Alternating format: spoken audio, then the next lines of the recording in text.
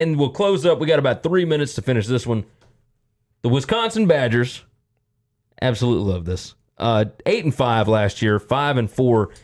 Returning starters, they've only got three on offense, five on defense. As far as returning experience goes, number 95 in the country, number 10 in the conference. Over under is eight.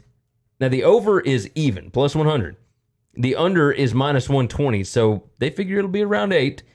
Head coach Paul Chryst, he was 36 and 7 at Wisconsin before the BYU game last year. He's now 42 and 12 in four years.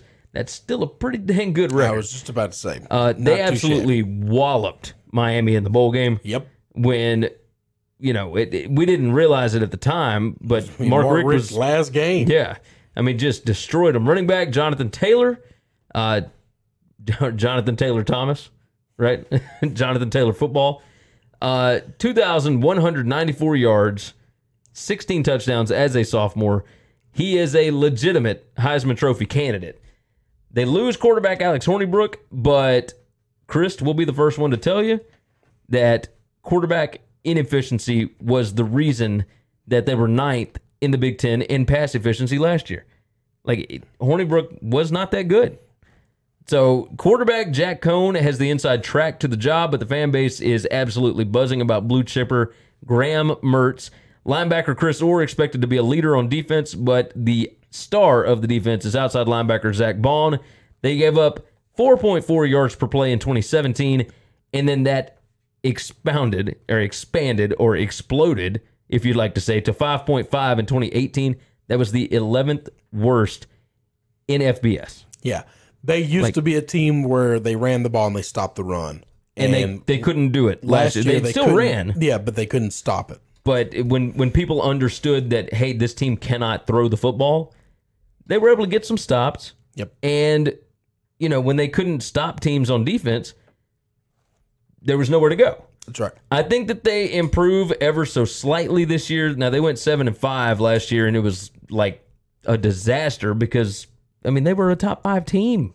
They were expected to compete for the college football playoff I last know. year, I had I had them in there.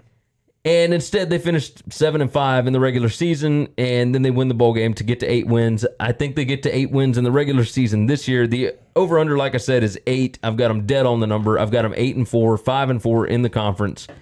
Uh, what say you? I got them eight and four, and it won't surprise me if they finish with nine and three. The four losses I have are all in conference. They're all against big teams. But but if they were able to beat those teams, because they're going to show up for all four of those games, Would it surprise you if they went seven and five? yes, that Really? would shock me. Yeah, I think. So, so you're telling me if the if the quarterback position cannot get solidified, you think it would surprise you? maybe not. Now I'm looking at the games that I gave them wins for. Yeah, He, this might be the toughest schedule in the conference. it's it's pretty ridiculous. I mean, this like this is the toughest schedule in the conference. I've my four losses that I gave them Their their are conference schedule is is Brutal? Yeah, it- Yeah. They play all of the best teams. I've I've got them losing. Penn. State's off of there. Yeah, yeah, I said that. All the best teams. I've got them losing to Michigan, at Ohio State, at Nebraska, and at Minnesota. Right, those are my four losses. Now the wins that I gave them: Northwestern, Michigan State, Iowa, Purdue, and, and then of course we I think we both gave them at USF, but I don't think any of those would really surprise us. no, it, it's it's gonna be brutal. They've they've got five, six, seven, seven conference games, eight conference games that could go either way. I mean, really, you could all all their conference games except for Illinois are against the upper echelon of this conference. Yeah, I agree. It's a, I, it's I a got them tough eight schedule. four. You you might be right. They they could easily go seven and five. That's I've got them eight and four as well. I think that's probably why Vegas has the over under sitting at eight.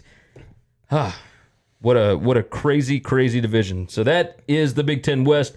Go over to winningcureseverything.com. Go over to tunicatravel.com. Northwestern taking it down again. Back to back division champs. We will be back with the Big Ten East. That's not the right one. Thanks for checking out Winning Cures Everything. If you want to keep up with us, hit subscribe. or your favorite podcast app, visit the website at winningcureseverything.com, or you can like us on Facebook or follow us at Winning Cures, at Gary WCE, or at Chris B. Giannini on Twitter. Share out the show, leave a nice review, and make sure to comment and tweet at us.